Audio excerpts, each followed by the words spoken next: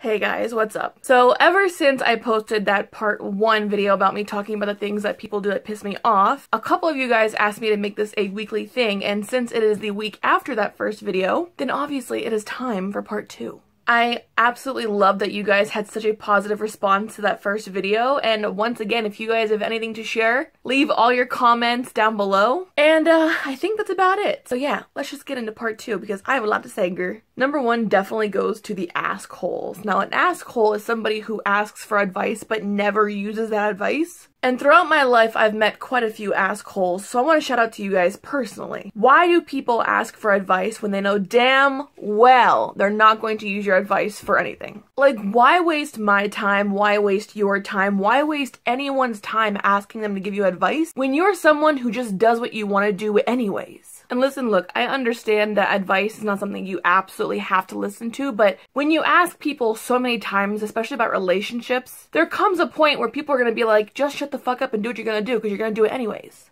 My least favorite people are the ones who continuously bring up and ask questions about whether or not they should stay with the fuck boy or fuck girl they're currently dating or not dating, what the fuck they're doing. Even though they know damn well that busted ass, broke ass person's gonna fuck with them emotionally and mentally and play games with their feelings and shit, but they'll be damned if they don't show up to that damn kickback with that person on their arm. They do nothing for you, yet you keep going back to them. Like, what the fuck are you doing? Don't ask me questions about this person. Just shut the fuck up and do what you're gonna do because you're gonna do it anyways regardless. I hate people who say there's no such thing as a dumb question. Have you ever worked in retail? I understand why teachers say it in like kindergarten, like elementary school, middle school, because you're learning. You need to ask questions in order to learn. But when you grow up and you're working in retail, you notice that a lot of people ask a lot of fucking stupid ass questions. The two worst questions I've ever been asked. One day, I had just opened the store that I was working at. And people are walking into the store and this dumbass lady opens the door and says, hey, what time do you guys open? While everyone's walking past her. The second one was when I was working at Victoria's Secret, I was standing in the beauty room, like where the perfumes and lotions are. And this lady comes up to me with a straight face, asks me, hey, where are your perfumes?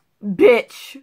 If you just observe your surroundings, more than half the time your questions will be answered. I want to know what you guys have been asked. If you guys have any like really dumb questions that customers have asked you, leave those down below because these crack me the fuck up. Number three is definitely one that I've always asked myself, and it honestly only pertains to one person. And that person's Beyonce. Girl, I can have another you in a minute. Matter of fact, he'll be here in a minute, baby. Why the fuck would you want another one of those fucking fuck ass busted ass boys when you just dumped his ass for cheating on you? And number two, why the fuck is this guy on the way already? So that means that you really aren't as innocent as you claim to have been. If this dude is already on the way, you must have had him on the side getting ready to go in. Yeah, here you are playing the victim, talking about all this bullshit saying he can leave and all this bullshit when you're doing the same shit on the side.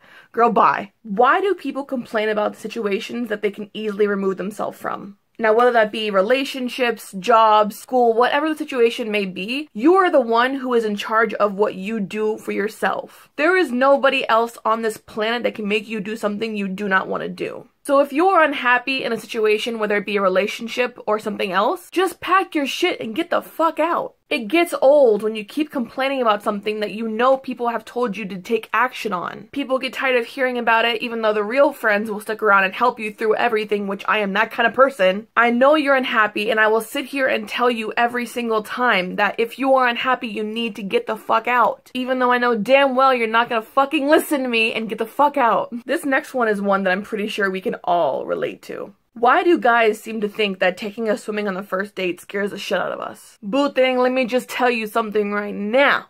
If you think this expensive ass makeup is gonna go raining down my face and you're gonna see me go from a 10 to a 2 in 2.5 seconds, guess what, my dude? You just played your damn self.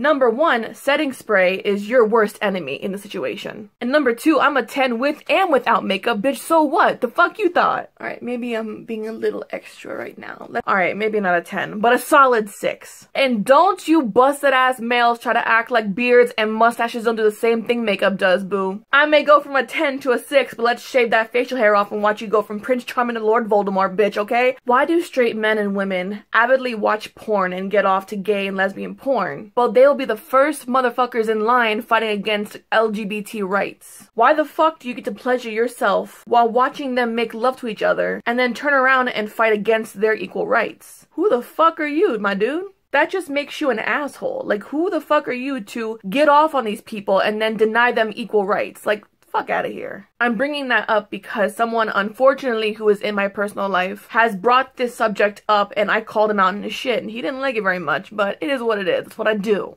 Like I said, I'm not trying to make jokes about that. It's a serious thing. I really want to know why the fuck people act like that. You know what I mean? Like you're being a serious hypocrite. But that's just me. That's just me, girl. And then lastly, I have seen this mistake made so many times in arguments, and I want to just straighten it out right now.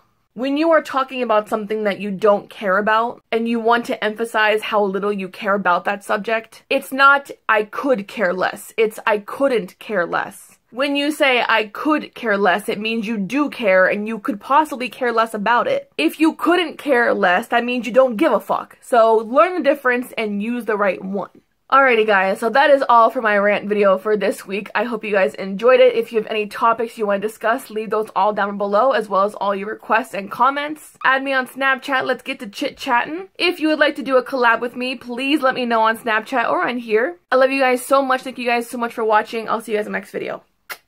Bye.